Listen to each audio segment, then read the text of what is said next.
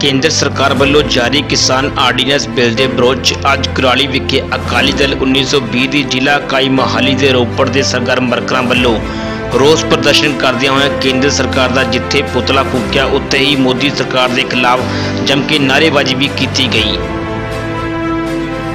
ਇਸ ਮੌਕੇ ਬੁਲਾਰਿਆਂ ਨੇ ਸੰਬੋਧਨ ਕਰਦਿਆਂ ਉਕਤ ਬਿੱਲ ਨੂੰ ਕਿਸਾਨ ਵਿਰੋਧੀ ਦੱਸਿਆ। ਉੱਥੇ ਹੀ ਸ਼੍ਰੋਮਣੀ ਅਕਾਲੀ ਦਲ ਬਾਦਲ ਵੱਲੋਂ ਜੋ 25 ਸਤੰਬਰ ਨੂੰ ਸਵੇਰੇ 11 ਵਜੇ ਤੋਂ 3 ਘੰਟੇ ਤੱਕ ਚੱਕਾ ਜਾਮ ਕਰਨ ਦਾ ਐਲਾਨ ਕੀਤਾ ਗਿਆ ਹੈ, ਉਸ ਦੀ ਨਿਖੇਧੀ ਕੀਤੀ ਤੇ ਕਿਹਾ ਕਿ ਉਸ ਦਿਨ ਦਾ ਸਮੂਹ ਕਿਸਾਨ ਜਥੇਬੰਦੀਆਂ ਵੱਲੋਂ ਪਹਿਲਾਂ ਹੀ ਬੰਦ ਦਾ ਸੱਦਾ ਦਿੱਤਾ ਗਿਆ ਹੈ।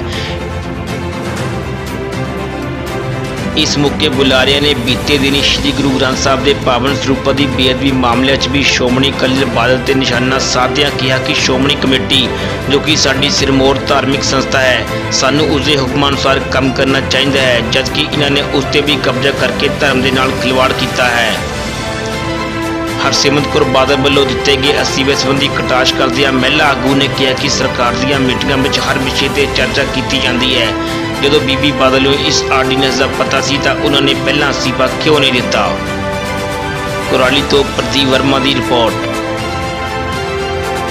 ਅੱਜ ਦਾ ਜੋ ਸਾਡਾ ਇਹ ਪ੍ਰੋਗਰਾਮ ਸੀ, ਇਹ ਇੱਕ ਤਾਂ ਸੈਂਟਰ ਸਰਕਾਰ ਜਿਸ ਨੇ ਕਿਸਾਨ ਵਿਰੋਧੀ ਐਕਟ ਕਾਲਾ ਕਾਨੂੰਨ ਬਣਾਇਆ ਹੈ, ਉਸ ਦੇ ਵਿਰੁੱਧ ਸੀ ਪ੍ਰਦਰਸ਼ਨ ਕਰਨ ਦਾ ਤੇ ਇੱਕ ਜੋ ਸਿੱਖ ਪੰਥ ਦੀ ਸਰਵ ਉੱਚ ਸੰਸਥਾ ਸ਼੍ਰੋਮਣੀ ਗੁਰਦੁਆਰਾ ਪ੍ਰਬੰਧਕ ਕਮੇਟੀ ਦੇ ਉੱਤੇ ਉਸ ਨਰੈਣੂ ਮਹੰਤ ਦੀਆਂ ਰੂਹਾਂ ਦਾ ਕਬਜ਼ਾ ਹੈ, ਜਿਨ੍ਹਾਂ ਨੇ 328 ਸਰੂਪ ਜੋ ਗਾਇਬ ਹੋਏ ਨੇ, ਉਹਨਾਂ ਦਾ ਬਾਰੇ ਪੁੱਛਣ ਗਈ ਸਿੱਖ ਸੰਗਤ ਦੇ ਉੱਤੇ, ਆਪਣੇ ਟਾਸਕ ਫੋਰਸ ਤੋਂ ਉਹਨਾਂ ਦੀ ਕੁੱਟਮਾਰ ਕਰਾਈ ਹੈ ਤੇ ਇੱਕ ਨਿਹੰਗ ਸਿੰਘ ਦਾ ਸਿਰ ਵੀ ਪਾੜਿਆ, ਉਹਦੀ ਉਸ ਦਾ ਜੋ ਦਮਾਲਾ ਸੀਗਾ, ਉਹ ਵੀ ਤਾਰਿਆ ਹੈ।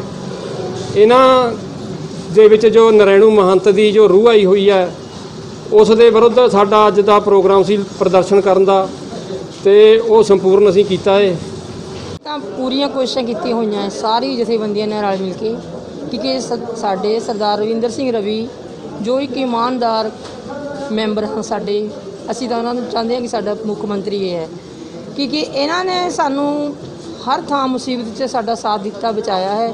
ਉਵੇਂ ਹੀ ਹੁਣ ਕਿਸਾਨਾਂ ਨੂੰ ਬਚਾਉਣ ਵਾਸਤੇ ਇਹਨਾਂ ਨੇ ਪੂਰਾ ਉਦਮ ਉਪਰਾਲਾ ਕੀਤਾ ਹੋਇਆ ਹੈ ਕਿ ਕਿਸਾਨੀ ਉਜੜ ਤੋਂ ਬਚ ਜਾਏ। ਸੋ ਅਸੀਂ ਜਿੱਥੇ ਤੱਕ ਵੀ ਜਾਣਾ ਪਵੇਗਾ ਜਾਵਾਂਗੇ। ਸਰਵਿੰਦਰ ਸਿੰਘ ਜੀ ਜਿੱਥੇ ਤੱਕ ਸਾਨੂੰ ਕਹਿਣਗੇ ਕਰਨਗੇ ਅਸੀਂ ਹਰ ਪਲ ਹਰ ਸਾਸ ਉਹਨਾਂ ਦੇ ਨਾਲ ਆ। ਰਾਜਨੀਤੀ ਤੇ ਕਬਜ਼ਾ ਕਰਨ ਦਾ ਸੁਭਾਅ ਰਿਹਾ ਸ਼ੁਰੂ ਤੋਂ। ਹਰ ਵਿੰਗੇ ਟੇਢੇ ਤਰੀਕੇ ਦੇ ਨਾਲ ਕਿਸੇ ਨਾ ਕਿਸੇ ਤਰ੍ਹਾਂ ਉਹ ਕਾਬਜ਼ ਵੀ ਹੁੰਦੇ ਰਹੇ। ਬੀਬੀ ਜੀ। ਬਹੁਤ ਦੇਰ ਲੋਕ ਇਹਨਾਂ ਦੇ ਦੋ ਪੱਖਾਂ ਤੋਂ ਅਣਜਾਣ ਸੀ। ਰਾਜਨੀਤਿਕ ਪੱਖ ਤੇ ਧਾਰਮਿਕ ਪੱਖ। ਇਹਨਾਂ ਨੇ ਰਾਜਨੀਤੀ ਦੇ ਉਲਟ ਜਾ ਕੇ ਧਾਰਮਿਕ ਪੱਖ ਤੇ ਸ਼੍ਰੋਮਣੀ ਕਮੇਟੀ ਤੇ ਕਬਜ਼ਾ ਕੀਤਾ, ਜਦ ਕਿ ਸ਼੍ਰੋਮਣੀ ਕਮੇਟੀ ਤੋਂ ਸੇਧ ਲੈ ਕੇ ਰਾਜਨੀਤੀ ਹੁੰਦੀ ਹੈ। ਇਹ ਵਿਚਾਰ ਦੀ ਤੇ ਪੁਰਾਣੇ ਸਮੇਂ ਦੀ ਗੱਲ ਹੈ। ਇਹ ਧਰਮ ਰਾਜਨੀਤੀ ਦੇ ਰਾਜਨੀਤੀ ਦੇ ਉੱਪਰ ਹੈ ਤੇ ਸ਼੍ਰੋਮਣੀ ਕਮੇਟੀ ਦੇ ਥੱਲੇ ਇਹਨਾਂ ਨੂੰ ਕੰਮ ਕਰਨਾ ਚਾਹੀਦਾ ਸੀ। ਅੱਜ ਜੋ ਖਲਵਾੜ ਇਹਨਾਂ ਨੇ ਉੱਥੇ ਕੀਤਾ ਦਾਸ ਸਿਰਫ ਤੇ ਸਿਰਫ ਇਕੱਲਾ ਮੈਂਬਰ ਸੀ, ਜਿੰਨੇ ਵੀ ਟੋਟਲ ਸ਼ਰੋਮਣੀ ਕਮੇਟੀ ਸੀ ਐਗਜ਼ੈਕਟਿਵ ਦੇ ਵਿੱਚ। ਮੈਂ ਇੱਕ ਵਾਰ ਮੱਕੜ ਦੇ ਗਏ ਇਸ ਇਲੈਕਸ਼ਨ ਲੜੀ ਤੇ ਜਿਹਦੇ ਬਾਅਦ 'ਚ ਅਸੀਂ ਦੋ ਮੈਂਬਰ ਐਗਜ਼ੈਕਟਿਵ ਦੇ ਵਿੱਚ ਆ ਗਏ ਸੀ। ਉਨੀ ਦੇਰ ਇਹ ਅਕਾਲ ਤਖਤ ਦਾ ਜਥੇਦਾਰ ਪਿਛਲੇ ਦਿਨੀ ਇੱਕ ਨਵਾਂ ਵੀ ਉਹਨੇ ਕੇਸ ਕੱਢਿਆ, ਜਿਹਦੇ ਵਿੱਚ ਸ਼ਾਰਟ ਸਰਕਸ ਦੇ ਨਾਲ ਕੋਈ ਸਰੂਪ ਜਲੇ ਸੀ ਰਾਮਸਰ ਸਾਹਿਬ। ਉਹਨਾਂ ਦੇ ਵਿੱਚ ਸਮੁੱਚੀ ਕਮੇਟੀ ਛੱਡੀ ਸੀ, ਜਿਹੜੀ ਪੁਰਾਣੀ ਕਮੇਟੀ ਹੈ। ਉਹਦੇ ਵਿੱਚ ਦਾਸ ਵੀ ਸ਼ਾਮਲ ਸੀ ਤੇ ਨਾਲ ਇਹ ਵੀ ਕਿਹਾ ਸੀ, ਸਪਸ਼ਟੀਕਰਨ ਲੈਣਾ ਮੈਂ ਤਿੰਨ ਵਾਰ ਕੋਸ਼ਿਸ਼ ਕੀਤੀ, ਇੱਕ ਦਿਨ ਪਹਿਲਾਂ ਜਾ ਕੇ ਸੰਪਰਕ ਕਰਨ ਦੀ, ਸਪਸ਼ਟੀਕਰਨ ਦੇਣ ਦੀ। ਵੀ ਮੈਂ ਲੋਟੂ ਟੋਲੇ ਦੇ ਵੀ ਸ਼ਾਮਲ ਨਹੀਂ ਹੈ। ਮੈਂ ਇਕੱਲਾ ਮੈਂਬਰ ਹੈ ਤੇ ਪਹਿਲੇ ਦਿਨ ਤੋਂ ਮੈਂ ਅੱਜ ਤੱਕ ਲੜਦਾ ਚਲਿਆ ਆ।